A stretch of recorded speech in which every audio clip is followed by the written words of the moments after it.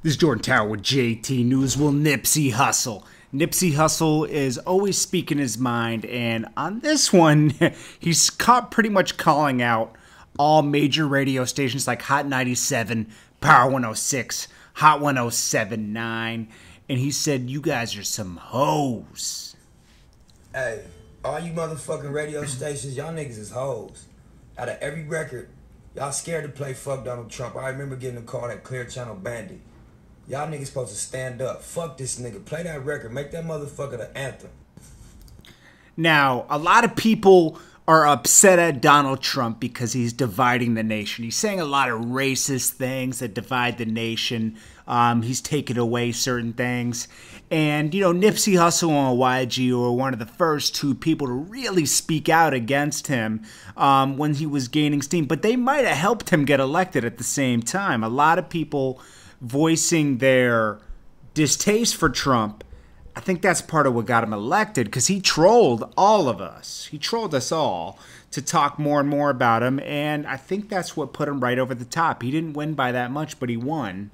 Um, and, you know, also, you can't have these records playing on the radio going against a presidential candidate. There's something against that. Also, it attracts the wrong attention from, you know, the boys, you know, that will come in and shut you down. So, uh, I can understand big radio stations, big corporations wanting to stay against that, even though there are big corporations standing up against Trump, Trump against certain things he says, and as they should.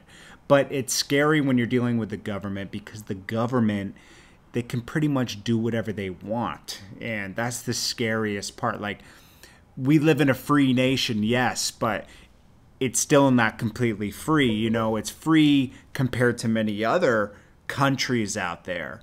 Like, we're probably the freest, but we're not all completely free. The government still has its hold on us, you know? So, you know, I commend Nipsey for always speaking his mind, but you know, there's there's deeper reasons between all this stuff. You know, he he clearly just called him right out, right on his uh, right on his gram. You know, he didn't have to mention him by name because he just pretty much put it up on the screen. You know, he said basically, "Yo, what's up?"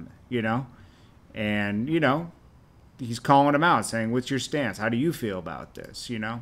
But anyways. What do you guys feel? Uh, do you feel he is kind of going too crazy about this, or is he is he saying the right thing? I mean, we all feel the same way, but you know, it's like, you know, was this the right way to do it? I don't know. You let me know. Hit that like button. I need likes on the video, guys. You got to smash that like button for me so YouTube recommends the video. I'll check you guys on the next one. Peace.